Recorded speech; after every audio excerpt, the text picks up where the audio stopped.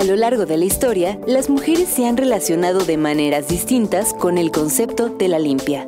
Por un lado, se les ha exigido ser puras, impolutas y castas.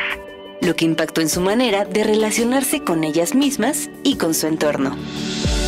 Y que además dejó fuera a las otras, las sucias, las locas, las brujas, las feas, las prietas, las disidentes, las lenchas, las gordas, las que no caben en sus moldes, las que desafían el concepto de pulcritud. Por otro lado, la limpia es una práctica ancestral mexicana de cuidado que la mayoría de las veces sucede entre las mujeres conjugando el sentimiento, la emoción y el cuerpo. Este programa pretende ser una limpia de aquello que sentimos y nos atraviesa, de las violencias y los males que vivimos. Esto es La Limpia, con Paula Maulén y Aranza García. Código 21. Bienvenidos a La Limpia. ¿Cómo estás? Bien? ¿y tú, amiga? Bien, Estoy contenta. bien, sí. ¿Qué más? Ay. Sí, bien. Sí, Adiós. adiós. Se acabó la limpia. Fin del episodio. no es cierto, hoy traemos. Hoy traemos. Varios temas Vario. que no habíamos querido platicar. Sí, ¿No? justo. ¿Por qué? Bueno, ya, ya vieron, ¿no? De qué se va a tratar.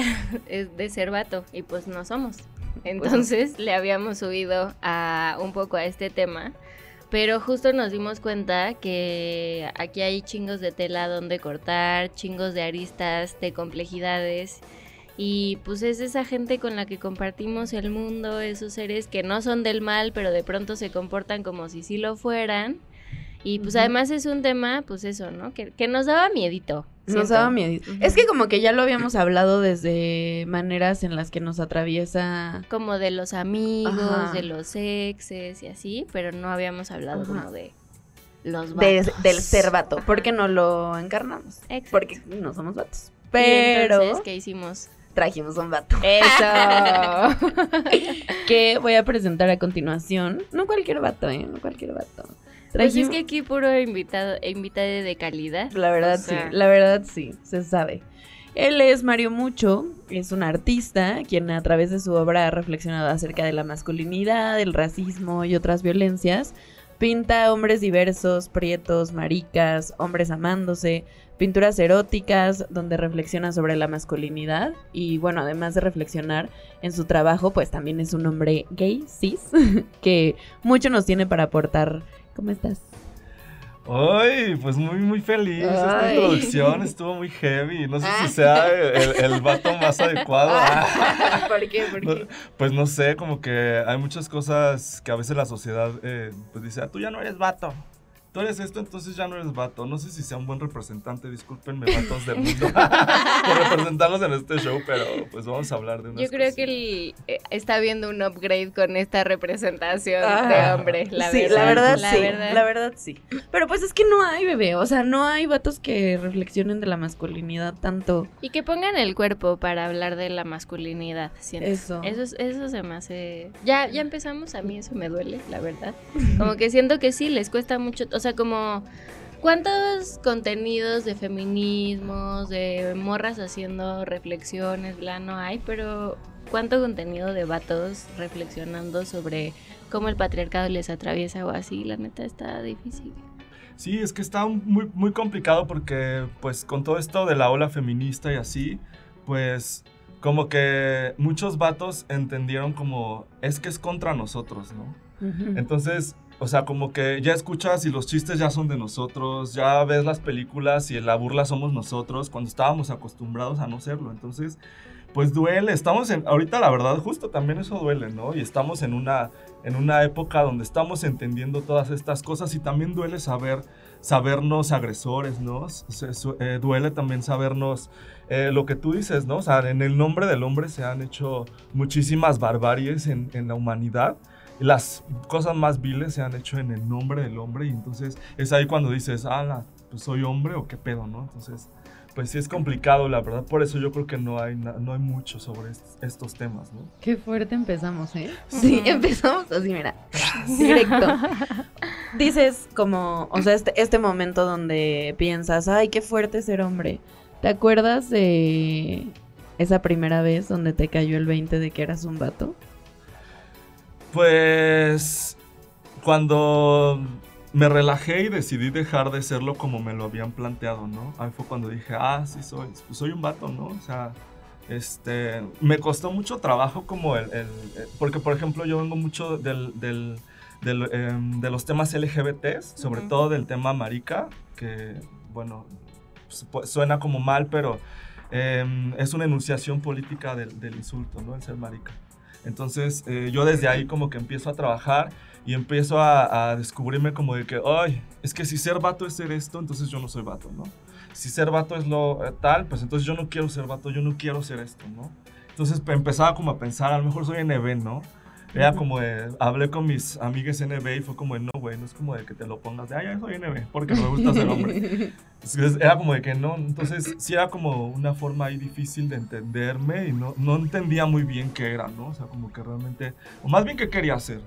Y ya después como que ahí fue cuando me empecé a dar cuenta que pues reproducía cosas de vatos, la gente me leía de vatos, desde muy niño he tenido el privilegio, los privilegios de ser vato, ¿no? O sea, esta libertad que te dan desde la familia, o sea, como que estas cosas las empiezas a ver, con, por ejemplo, con mi hermana, ¿no? De que por qué a mi hermana se le, se le exige esto y a mí no.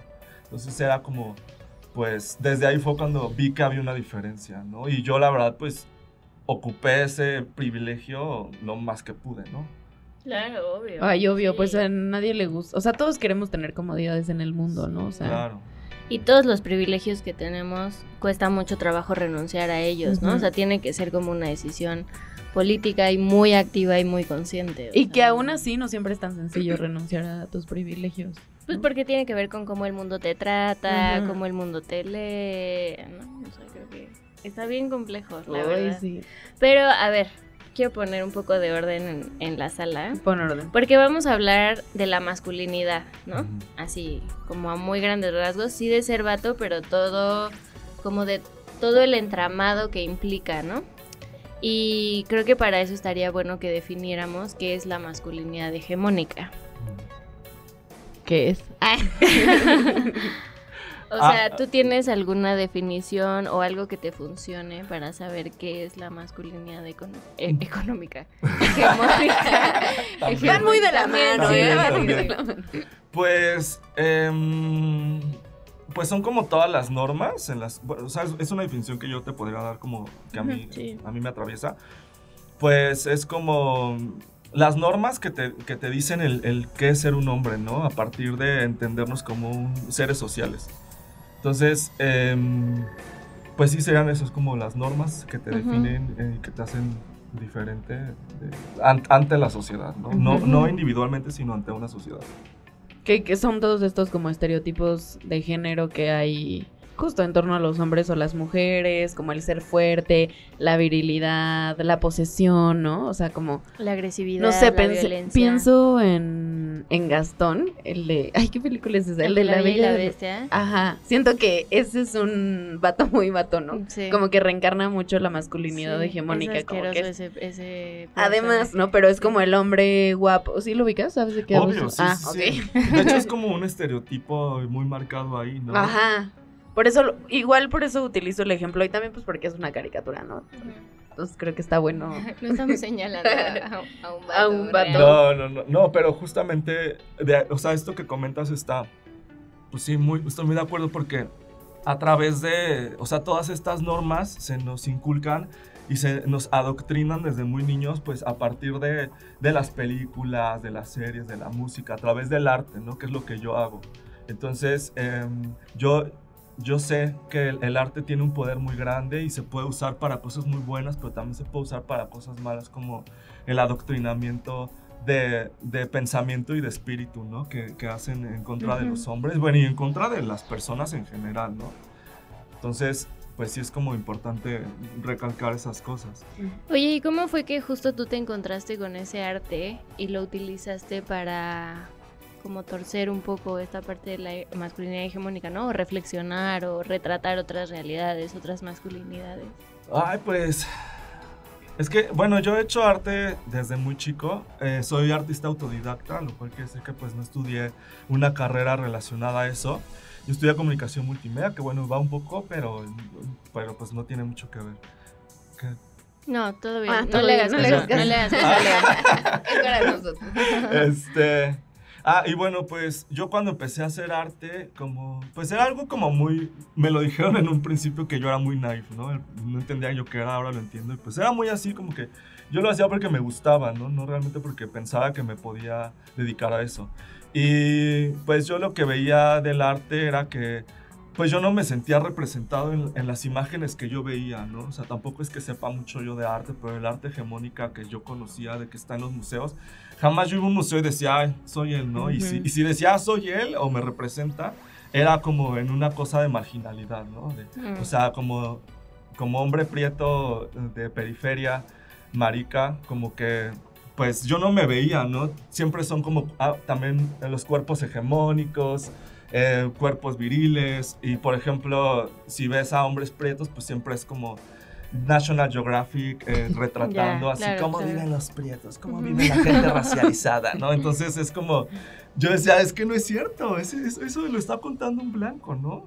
Eso no soy yo, eso es lo que estas personas creen que yo soy, pero eso no soy yo. Entonces era una necesidad mía de decir, quiero, quiero eh, existir, ¿no? Quiero, quiero existir, quiero existir en esta sociedad, quiero que la gente vea arte y diga, ah, también soy ese, ¿no? Y, y, y de repente, pues sí, empecé a hacer eso y pues a la gente sí, justo me empezó como a decir, ah, y ya ahorita pues sí tengo varios colegas que tenemos este mismo tema, pero cuando empecé yo hace como unos 10 años, pues no se hablaba mucho de estos temas. Entonces Ujú. fue algo que yo descubrí así como pues, muy, muy naturalmente, la verdad. Y aparte pintar como estos hombres eh, haciendo otras cosas distintas, también se sale mucho justo del papel de la masculinidad hegemónica. O sea, pienso en, en el Zapata gay. Ay, justo, justo estaba pensando en ¿te- esa ¿Se acuerdan pintura, del Sí, drama que hubo? sí. O sea, gente manifestándose. Y eso fue que... Yo fui, ¡Ay, tú fuiste! te lo juro. Ah, pero a favor. Es que, es que hubo un tema ahí. Saludos a, A- Fabián a Chávez. ver, a ver. Amigo personal. no, pues es que, o sea, lo que pasó con el Zapata Gay fue que se unieron dos luchas ahí que, que estuvo muy raro porque era la, lu- la lucha indígena de los algún un, un como bloque de los zapatistas y eh, los LGBTs. Entonces los dos estaban como, llegamos a manifestarnos y alguien como que se madreó a un, a un gay y Mm. este...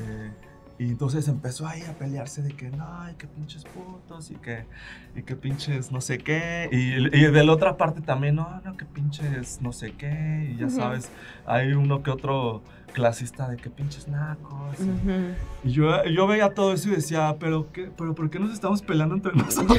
el, enemigo era otro, ¿no? Y sí fue como una cosa muy impactante que decías, ¿pero por qué nos estamos peleando? O sea, vamos contra lo mismo, ¿no? No somos nosotros los, los el problema, el problema está más arriba.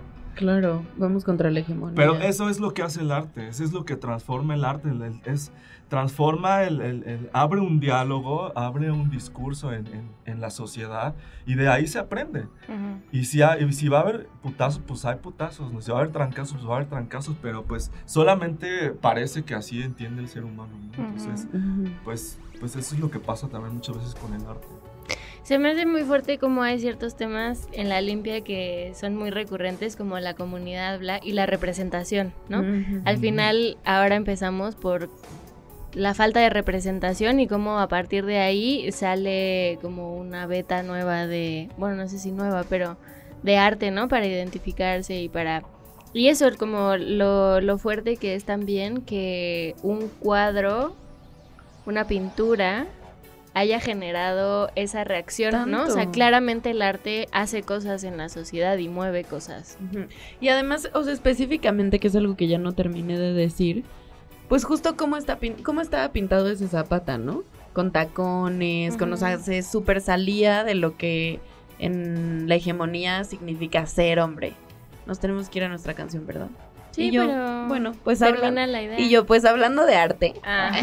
vamos a seguir ahora en otra rama, escuchando dos, tres trucos, ¿sí? ¿Sí? ¿Correcto? Sí. De Paola Suárez, que propuso Mario esta canción. ¿Quieres, Au. ¿quieres decir por qué? o? Este, no sé, me gusta mucho Ah. como para iniciar el día y así. Ah, así que si nos están escuchando ahí en su casita, para préndanse un poquito con Paulita Suárez. Eso. y regresemos a la limpia.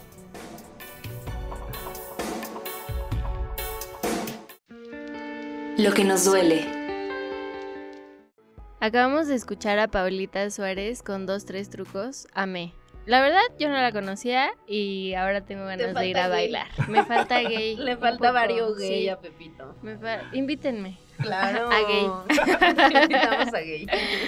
Pues nada, estábamos platicando sobre la masculinidad, la masculinidad y pues estábamos ya un poco anticipándole a nuestro invitado que cuál pregunta seguía. Sí, se me olvidó. No, ¿cómo fue crecer? ¿Qué pasó? Ah, Que le demos vuelta. ¿Ahí? No, ¿Otra vuelta? Ahí. ahí. Ah, ya no te Ah. oías nada, güey. O sea, ya sí estuve todo el primer bloque. Ah, ¿no? Ah. Ok. Esto Hola, es la limpia. Aquí como pasan cosas, pues porque así es una limpia, espontáneo, de pronto se rompen cosas, como cuando te haces tú. Nada es perfecto, bebé. Exacto. Entonces, eh, hablando sobre la masculinidad con Mario Mucho, artista, eh, ¿qué significó para ti o cómo fue para ti crecer siendo vato? Pues fue un, eh, un poco complicado. Pues miren, para quien diga así de que, ay, pero ¿por qué está un gay hablando de masculinidades? Porque pues, o sea, sigo siendo un hombre, aunque, em, aunque no les guste. Se me hace bien Es que, fuerte es que eso es otro tema, pero ahorita lo tocamos. Ajá, tú, pero tú justo, sí. o sea, bueno, yo crecí siendo un hombre diverso, como todos los hombres que existen en este planeta. Y pues fue un poco difícil eh, entender eso, ¿no? O sea, porque pues justo era como un poco complicado porque eh, todo lo femenino era, era como malo, ¿no? O sea, como que a mí se me, se me negaba esa parte mía, ¿no? De tú no puedes ser femenino. Entonces era un poco complicado porque si bien no era un, el niño más femenino, eh, pues sí tenía, ¿no? Mis cosas femeninas, como cualquier persona en este mundo. Y, y yo no entendía por qué era malo ser mujer, ¿no? Porque era malo eh, ser femenino. O sea, realmente era como, pues nunca lo entendí, ¿no? Entonces fue como una cosa muy difícil, pero también creo que me hizo entender muchas cosas que, pues no sé, como que habían muchas contradicciones a la hora de ser hombre, ¿no? Como, como de que puedes ser hombre, pero nada más hasta, hasta, este, hasta este punto, ¿no? O por ejemplo, de que, ay, pues si eres un poco femenino, entonces ya eres mujer, ¿no? Pero si eres una mujer trans, entonces eres un hombre. Pero, o sea, como que, ¿sabes? Como que nunca, nunca entendía bien qué era ser un hombre y yo era como que nada más improvisando todo el pinche tiempo de que, ¿qué es ser hombre? Y copiándole al de al lado y copiándole a mi papá y viendo la- las películas, ¿no? Que es lo que realmente hacemos todos los hombres, como de que no sabemos qué es ser hombre, pero pues decimos, ah, es eh, Pedro Infante en esta canción, ¿no? Ser hombre es este... Gastón. Eh, Gastón, exacto. Ajá, sí, todos los personajes, todos los actores, o sea, todo era como, ah, bueno, pues eso es ser hombre, ¿no? Ser hombre es ser Adrián Marcelo en el Café de la Fama. como que, o sea, realmente como que eso era lo que dictaba, lo que tenía yo que ser, ¿no? Entonces, pues por ahí yo agarraba así mis hombres así como para copiarles de que, pues unos que eran así medio rarillos de que Mick Jagger o como, así que eran como que decían, todo el mundo los aclama, pero pues se dan permiso, ¿no? Es como por ahí ellos me caían medio bien y pues decía, ay, bueno, yo soy de ese tipo de hombre. David Bowie. David Bowie, ajá. Pero pues sí, fue como un poco complicado, contradictorio y muy difícil, pero creo que la experiencia es para todos, para todos, sobre todo para todos. A mí se me hace fuerte y muy importante también esto, o sea, que ya retomas desde el inicio, como, como todas las masculinidades son diversas. Eh, y además como la masculinidad también se intersecta con otras cosas, ¿no? O sea, un poco lo que decías hace rato, con la periferia, con la orientación sexual, con la racialización, con un montón de otras cosas que, que o sea, así como las mujeres somos muy distintas entre nosotras y obviamente no podemos hablar por todas, no somos un colectivo homogéneo, como... O sea, quizás sería hasta un poco obvio, pero es muy refrescante cuando alguien dice que los vatos no son todos iguales, ¿no? Y eso ni siquiera es que esté bien o que esté mal, solo es, es lo que es. Pero no estamos tan acostumbradas a escucharlo. Siento. O sea, como que incluso en el imaginario está mucho justo esta frase de, ay, todos los hombres son iguales. Ay, es que es vato. Que obviamente viene, o sea, no viene de la nada, pues. Responde a que sistemáticamente los hombres, pues, actúan de maneras, no sé, por ejemplo, violentas, ¿no? Entonces, pues claro que vamos a tener o decir esas frases y que muchas de esas violencias vienen desde justo la masculinidad. O sea, y no por justificar a los vatos, obvio, pero... Pero... Ajá, pero vienen desde ahí. A mí se me hacía...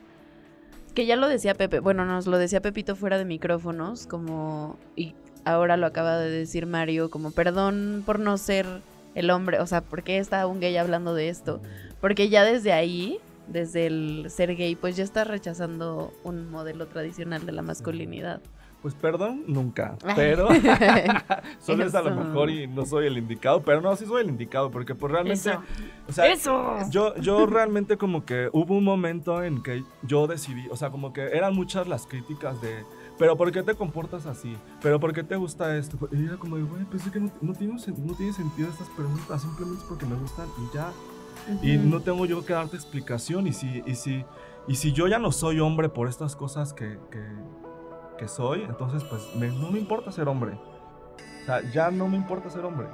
Y, y, y, y si dicen que soy mujer, pues ni modo, qué bueno. O sea, ¿qué tiene de malo ser mujer, no? O sea, como que si era... Yo sí hubo un momento de rompimiento que dije, ¿saben qué? No me importa ser hombre. Y fue cuando Ujú. empecé con el, con el odio así de que no, pero ahora ya hora de coraje ya al menos quiero ser hombre, ¿no? Entonces, pues Ujú. sí ha sido como un proceso bien complicado, pero es, creo que es un, es un proceso eh, humano que todas las personas individualmente lo, lo- lo tenemos. Y hay, solamente que hay gente que está como muy presa en eso, ¿no? En, en querer encajar, en querer obedecer, en querer em, seguir em, con, estas, con estas conductas, ¿no? Que al final de cuentas, pues todo el mundo vivimos presos de eso, ¿no? Tanto las mujeres como los hombres estamos presos en nuestras cabezas. ¿Por qué hay tantas enfermedades mentales? ¿Por qué hay tantos suicidios en los hombres, no? De cada, de cada 10 em, em, suicidios que hay en México, 8 son de hombres. Entonces, Y las mujeres son quienes tienen más depresión, pero los hombres se Y más intentos, se pero los hombres más que y es como, ¿qué está pasando? ¿Realmente le están pasando bien los hombres? ¿De realmente tienen, eh, o sea, sí tienen estos privilegios, pero ¿les sirve de algo? ¿Realmente somos libres? O sea, esto es lo que yo quiero plantear con mi arte y con, con mi vida precisa, ¿no? O sea, yo sí vivo, desde que me di cuenta de todas esas cosas, dije, bueno, es que todo el mundo está fingiendo ser hombre, pero nadie realmente lo es en el fondo. Qué fuerte. Es que a mí eso me parece un punto importante en el que nos podemos detener un rato, porque creo que es como que se ha popularizado mucho esta frase de que la masculinidad es muy frágil, ¿no? Y ejemplos hay muchos, pero ¿qué significa que la masculinidad sea así de frágil, no? O sea, creo que justo tiene que ver con, con lo que ya planteaba Mario desde hace rato, como todas estas pequeñas cositas que si no haces o que si sí haces te hacen menos hombre o te hacen más hombre y entonces hay como una necesidad constante. Yo soy maestra en secundaria, Ah, qué chido. este, y entonces los veo ser muy chiquititos y estar constantemente preocupados porque no son lo suficientemente hombres, ¿no? O sea, como, ajá, y, y hay un otro profesor, varón, que, que de pronto los confronta y les dice como, pero ¿no te cansa? O sea, ¿no estás cansado como de querer todo el rato demostrar que eres el más fuerte, eres el más agresivo, eres el más ruidoso, eres el más desmadroso? Güey, siéntate, o sea, todo está bien, ¿no? No va, no va a pasar nada si no lo estás demostrando constantemente. Y creo que un poco a eso va la parte de la masculinidad frágil, ¿no? O sea, este ejemplo, no sé, seguramente lo vieron, del beisbolista que se sube a una cubeta porque la que lo estaba entrevistando era más alta que él, ¿no? O sea, la, la estatura tiene que ver con demostrar que eres hombre, el grande, ¿no? El O sea, que eres- puede, el protector, ¿no? Que volvemos Sí. otra vez a los estereotipos. Y a mí eso se me hace bien chido de lo que dice Mario, como qué, qué es lo que pasa cuando uno dice, pues ya, ahí está, ahí está su ser hombre, ¿no? O sea, ténganlo, no lo Sí, quiero. ah, me rindo. Ajá. Sí, sí. Y, y creo que muchas personas están todavía atrapadas ahí. Y me gusta mucho que me estén viendo ahí en casita.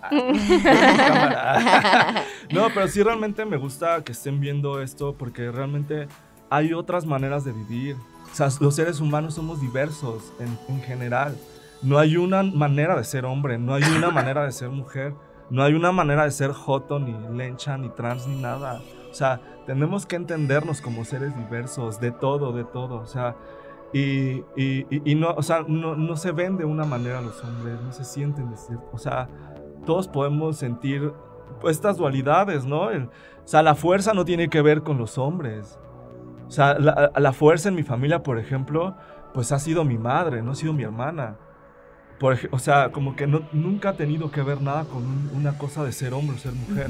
Ahorita se está remarcando mucho eso porque siento que se está desdibujando ya esa, esta cosa y, y hay, hay, hombres que se están resistiendo y hay mujeres que también, ¿no? Pero ya la, la, sociedad solita, mira, solita. Yo antes estaba muy preocupado en hacer activismo y, y, y que fuerte, ¿no? Que todo el mundo escuche. Y después como que entendí, a ver, tú no vas a cambiar el mundo todo el mundo está cambiando y no es por ti ni va a ser por nadie, va a ser porque, porque está habiendo un despertar en nuestros corazones, en nuestras cabezas, en nuestros espíritus. Entonces, eso ya no va a depender de nadie, ¿no? Obviamente, pues, en, como estos, estos lugares, ¿no? En donde hablamos de estas cosas abiertamente, donde nos vulneramos frente a muchas personas que nos están viendo y escuchando, ¿no? Pero vale la pena. Y a mí, por ejemplo, algo que me enoja mucho es que, por ejemplo, dicen, ay, es que tú eres bien puto, ¿no? Y se refieren como, ah, eres bien maricón, eres bien joto. No es bueno, ninguna de esas palabras se va a poder oír, pero. Bueno, eres muy. Bueno, todo. Eres, muy, gay, ¿no? Y era como de. O sea, como refiriéndose a cobarde, ¿no? Como si y fuera. yo les digo, como, güey, ¿tú crees que yo soy cobarde? O sea, tú sabes toda la mierda que me ha tocado tragar siendo maricón. O sea, no vivirías un día, o sea, con todo este desmadre, no vivirías un día, ¿sabes? Como... Entonces, como que yo estoy ya desmintiendo, quiero desmentir esas cosas, ¿no?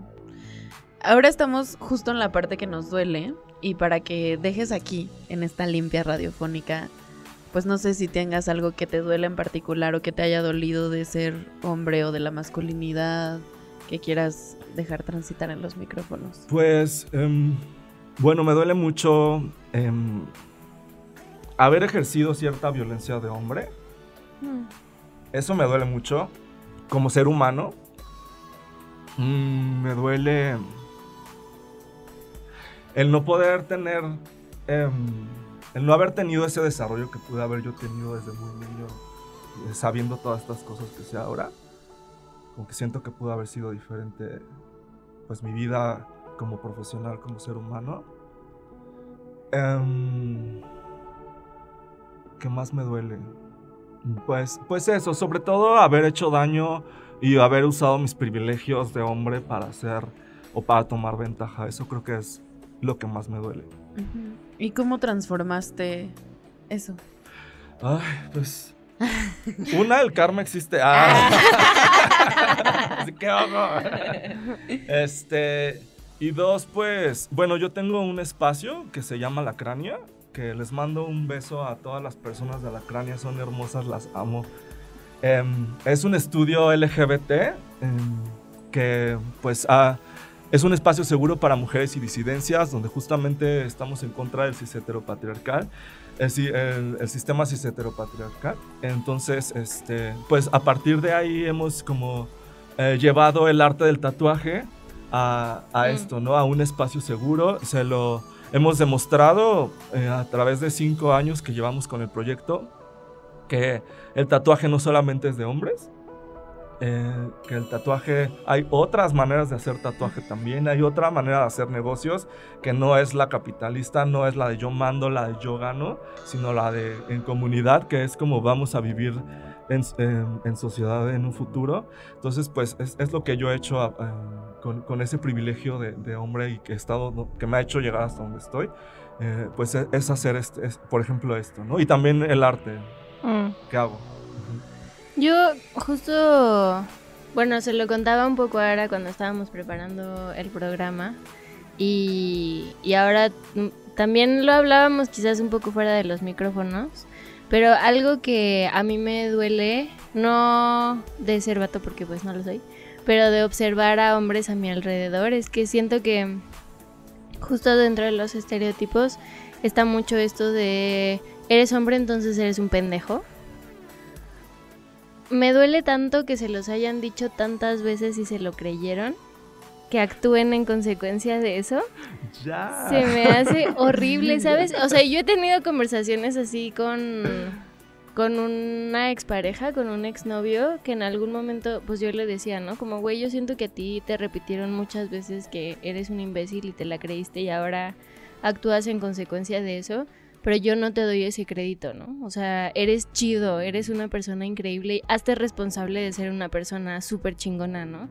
Y como que a mí me duele mucho eso de los hombres, ¿no? O sea, me duele mucho cuando dicen como, ay, güey, es que soy un vato y soy un pendejo. Es como, güey, no, bebé, eres increíble. Hazte responsable de ser un güey chido. O sea, hazte responsable de ser sensible, de querer este cuidar a los demás, de vulnerarte, ¿sabes? Como como de verdad, de verdad no se la crean. Es que está más cómodo también, ¿sabes? O sea, está más Ah, cómodo quedarte como de, ay, bueno, pues pues así somos los hombres, ¿no? Y así son las mujeres, entonces pues ya yo lo. O sea, pues no, no, no, just- y no nada más hacerte cargo de eso, sino también hacernos cargo de nuestras mierdas, que eso es lo que es lo que es más difícil, ¿no? Claro. Es lo que te digo, porque es doloroso. O sea, es doloroso saber que tú has ejercido violencia, ¿no? Y que tú has hecho eh, cosas también horribles, ¿no? Bueno, no sé, no sé qué tan horribles han sido las que yo he hecho, pero este... Sí, obvio. Pero, hay, de cosas o sea, horribles. hay de hay cosas cosas horribles. Y tampoco es así de que, ay, vámonos todos a... No, no, no. Sí, o sea, sí, sí, tampoco. Ajá. Sí hay de cosas Entendemos. cosas, pero... Sí, sí, bueno, sí. Pero está en bien la este- aclaración, ¿no? Sí, está bien, está bien. De hecho, siempre hacemos esa aclaración Sí, sí, que no aplica para, Para relaciones de abuso, Exacto. Violaciones, exacto, abuso exacto, sexual, ta, ta, ta, ajá. Sí. A mí me duele, o sea, como verlos...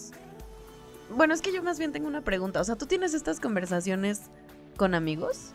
O sea, porque a mí me duele mucho como pensar que los hombres se hacen estas preguntas, pero no las comparten con otros Claro. hombres. O que les duele pensar en que han ejercido violencia, pero No nunca lo platican. Ajá. Sí.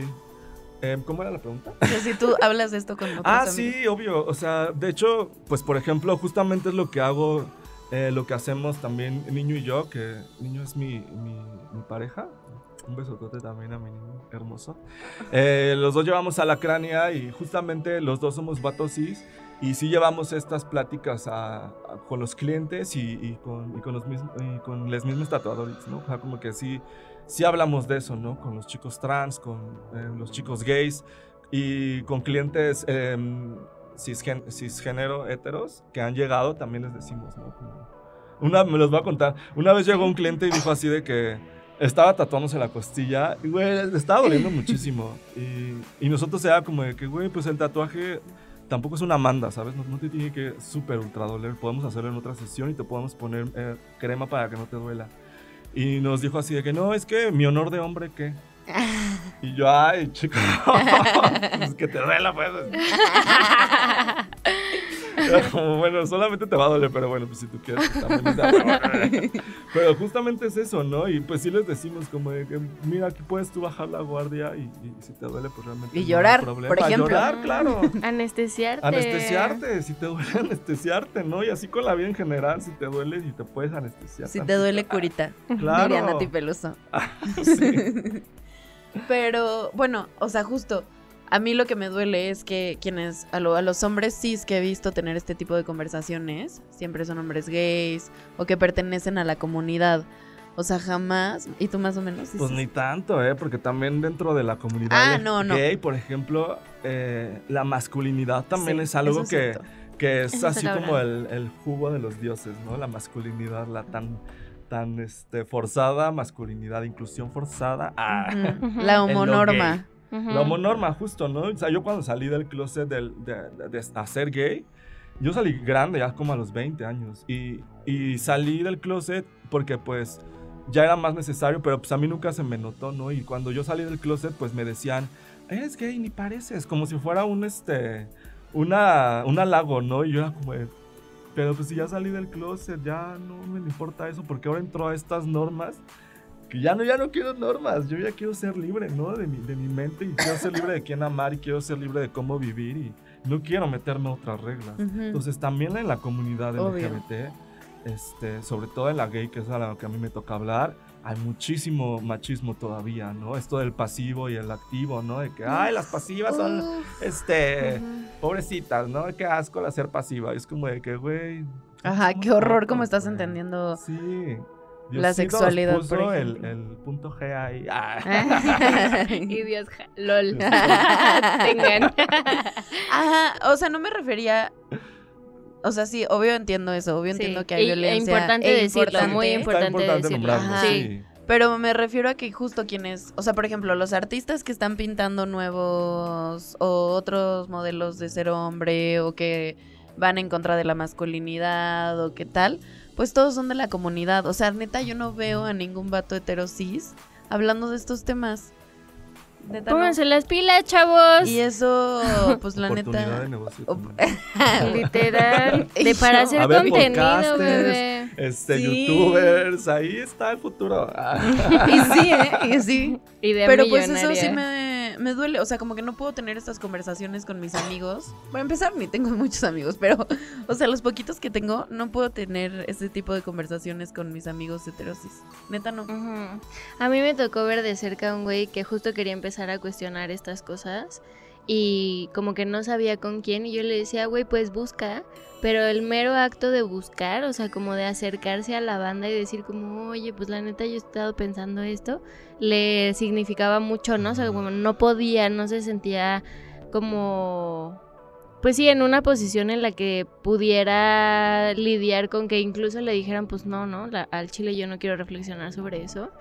Y, y se me hace bien fuerte cómo pueden vivir mucho estas reflexiones en soledad, ¿no? Ujú. Sí, cuando en colectivo es como se sana, más, más fácil, más rápido, más en conjunto, porque entendemos otras realidades y entendemos que todo el mundo estamos sufriendo lo mismo, ¿no? De que todo el mundo tenemos los mismos issues, de todo, todo el mundo tenemos los mismos traumas. ¿Por qué? ¿Por qué no hablar de ello, no? ¿Por qué seguir con este...? eh, y también se llama pacto patriarcal, o sea, Claro. es, es muy, muy difícil romper el pacto patriarcal porque no se nos enseña cómo, ¿no? Y también, eh, pues el feminismo creemos que solamente es para las mujeres, ¿no? O sea, como de que, ay, pues, pues no, ¿cómo le voy a preguntar a una feminista? Me va a atacar, ¿no? Me va a rayar así con aerosol o no sé, como... Porque lo traemos en la bolsa todo el tiempo.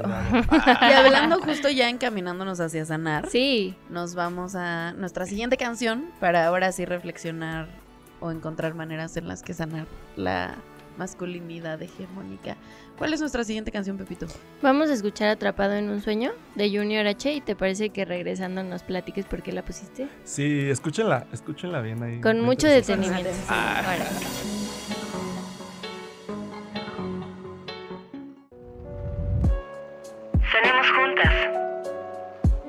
Eh, acabamos de escuchar Atrapado en un sueño de Junior H. Por favor, échanos tu trip de esta canción, Mario.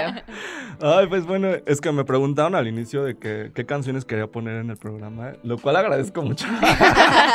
La primera, pues porque me gusta la jotería y Paulita Suárez se me hace un gran personaje. La segunda, esta de Junior H, es que es justo lo que les comentaba de que cómo a través del arte pues nos adoctrina, ¿no? Y, y también, am, por ejemplo, esta canción de Junior H, yo la escuché una vez em, que estaba como muy introspectivo. Muy introspectivo, así lo dejamos.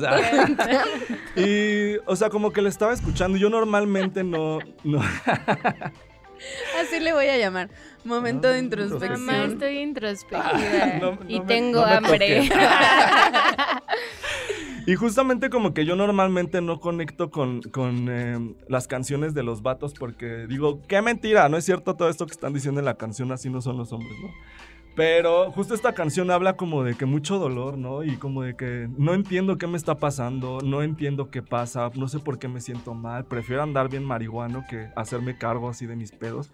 Y es como un, yo lo sentía así como de que, güey, ayuda, esto no es una canción. Entonces era como de que, güey, realmente era de que, o sea, me dio un trip cuando lo escuché, dije, güey, qué bonito, o sea, realmente lo pude escuchar como ser humano y dije, güey, pues pues sí, obviamente cosas bien misóginas que dice la canción así, pero pues justo así como de que, güey, no entiendo por qué las mujeres nada más buscan el dinero y no, no- y no quieren amarme y así. Ya como de que, pues a lo mejor porque todas tus canciones hablan de dinero. Y de cómo tú no amas a y las mujeres. tú no amas a las mujeres y solo amas el dinero, a lo mejor por eso. ah. Pero en esta canción sí es como de que, ay, yo quiero un amor real, quiero que me amen, quiero que me amen, ¿sabes?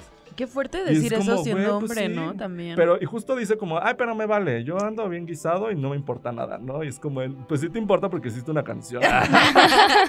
y escucha la canción que también es como de que es súper triste, súper dolorosa. Mm, Entonces, pues, eh, por eso, vuelvan a escuchar ahí si quieren. Ah, Eso, Sí, bueno, eso, a sí, escuchar. sí, sí. ¿Y cómo hiciste tú para, o has encontrado maneras de sanar, además del espacio de alacrania que nos compartías? Ay, pues justo el arte, el arte me ha ayudado muchísimo, muchísimo. De hecho, o sea, mi última pieza se llama Hombres o Payasos y habla justamente esto, ¿no? De cómo, cómo, mm, pues de una forma más juguetona, porque también es, es que es bien difícil, porque tampoco quiero que sea algo, una, una transición como muy dolorosa, muy así. O sea, también me la quiero llevar como tranquilo, ¿no? Como, a ver, mm, ya estamos los hombres aquí, ¿no? ¿Qué vamos a hacer? O sea, ya vamos a desaparecer porque somos unos ojetes o vamos a cambiar o nos vamos a ir a una ciudad apartados o vamos a aprender a convivir con todas las personas o qué vamos a hacer, ¿no? Entonces, pues justamente es, yo estoy tratando con mi vida, pues eso, ¿no? A ver cómo me voy a relacionar, cómo voy a usar mis privilegios para, pues, si puedo ayudar a otras personas o los pocos ta- también, no es que Sí, claro. pues bueno, el más grande que ser hombre, ¿no? Pero, pero pues sí, como que a través del arte también, ¿no?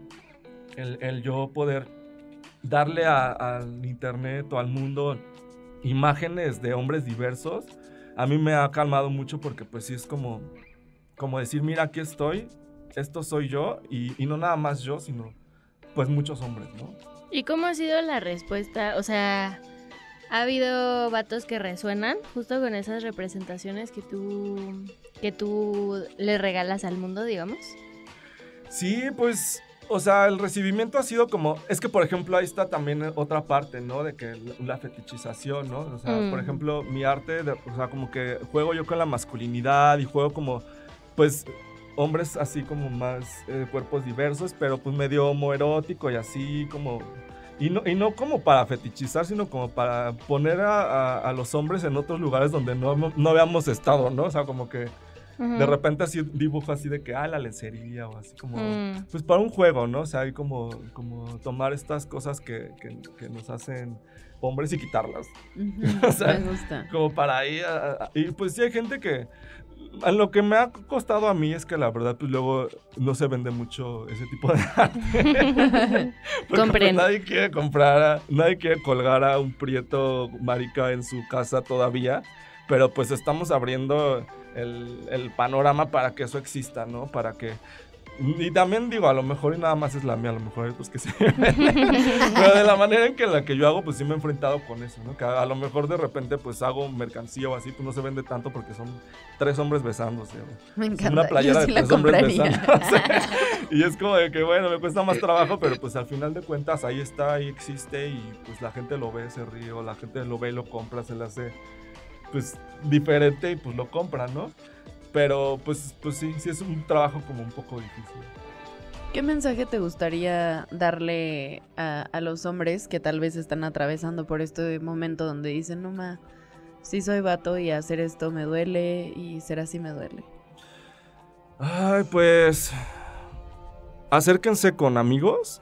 Realmente, yo creo que si se sinceran realmente, o sea, si hablan realmente con el corazón, si realmente. Y, les, les hacen el spoiler alerta a todos, ¿no? Como de que, oigan, voy a sincerarme, por favor, quiero que, que, no, que no me juzguen, ¿no? Y, pues eso, ¿no? Hablarlo, dialogarlo con, con sus. Sanar con sus padres, ¿no? También, o sea, el hablar al chilazo con sus padres y decir así de que, oye, jefe, pues ¿qué pedo con esto que tú me inculcaste? O hasta uno mismo, ¿no? O sea, como perdonar todas esas cosas que se nos inculcaron y decir, a ver, que yo creo que lo que tendríamos que hacer es revisar muy en el fondo de nosotros y realmente ver qué es lo que nos gusta y qué no, qué es lo que nos hace felices y qué no, y a partir de ahí empezar como, como actuar, ¿no? Y realmente con el corazón. Pepe está así anonadada.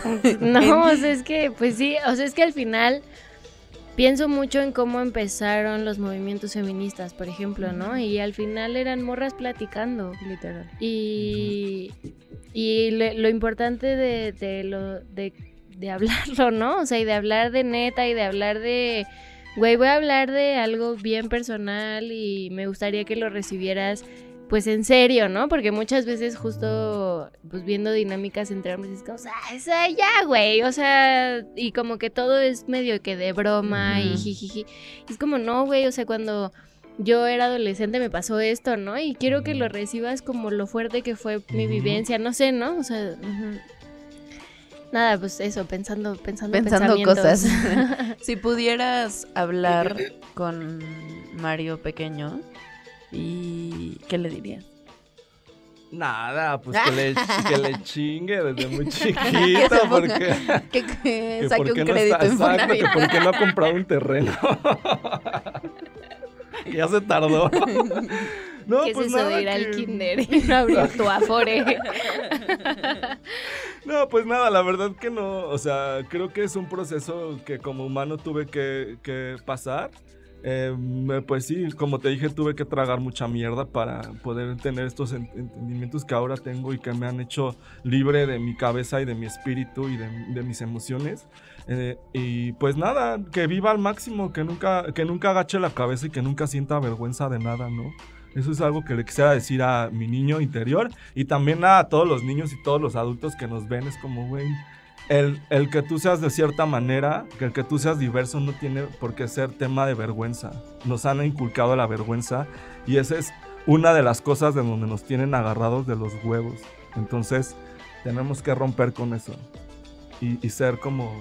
Pues como querramos ser, ¿no? Obviamente con los límites, ¿no? Tampoco se mamen. Respetando al otro. límites, respe- sí, Respeto. justo. Bien lo dijo Benito Juárez. Ah, Eh, el derecho al el respeto. derecho al respeto ajeno es la paz. Claro. Ah. Pues así nos despedimos. Ay, con la icónica frase de. Benito Juárez. Oye, ¿y No, no es cierto. quién hubiera dicho que íbamos a citar al benemérito de las Américas? Oye, pero ¿y dónde podemos ver todas tus pinturas, tu... Ah, muy Ah, sí, importante. bueno, claro. importante, creo que Ah, bueno, pues Para es que- arroba Mario Mucho. Compren. Compren, compren, compren, compren. Pues arroba Mario Mucho. eh, es en todas las redes, TikTok, eh, eh, Instagram, eh, Twitter, todos. En, en Alacrania MX, que es el estudio de tatuajes que llevo junto con Niño del Río. Y ya creo que ya. Bueno, arroba Mario Mucho para que chequen el arte, para que vean otras perspectivas. Me y encanta. Y para que compren. Y para que y sobre todo Y sobre todo... el derecho a Oigan, y nos va... el, el, El respeto al al derecho ajeno es la paz. Oigan, y nos vamos a ir con una última canción de Ed Maverick que se llama Niño. ¿Por qué? Ay, pues sí, ya con esto nos despedimos. Con esta canción, eh, me gusta mucho el tema de Ed Maverick. No sé bien por qué dejó de hacer música, no sé si Por si la lo hayan fama. cancelado. Pero justo, o sea, él fue uno. Él fue un hombre que decidió vulnerarse en sus canciones, en su arte, como, como muy pocos lo habían hecho en, en su contemporaneidad. Y lo que hicieron fue hacerlo mierda. O sea, de que, güey, de hecho la canción que, que sigue, hay una parte donde dice como de que estos pensamientos me van a matar, ¿no? O sea, como de que... Igual, ¿no? De, güey, esto no es una canción, help me, o sea, realmente. Y, y- y- dicho y hecho, o sea, no soportó. Le, le- todo el mundo se reía de él que porque lloraba mucho en sus canciones y así, ¿no? Y él dejó de hacer música, dejó de hacer lo que amaba realmente porque el machismo dijo, no, no puedes, eh, no puedes llorar tanto. Y claro que se puede. Lloren. lloren, lloremos con esto sí. No, no, Guache, no está llorar. No, no, no es- está no es- la canción, pero pues escúchenla. Ujú. Y nos escuchamos y nos vemos la próxima semana. Adiós.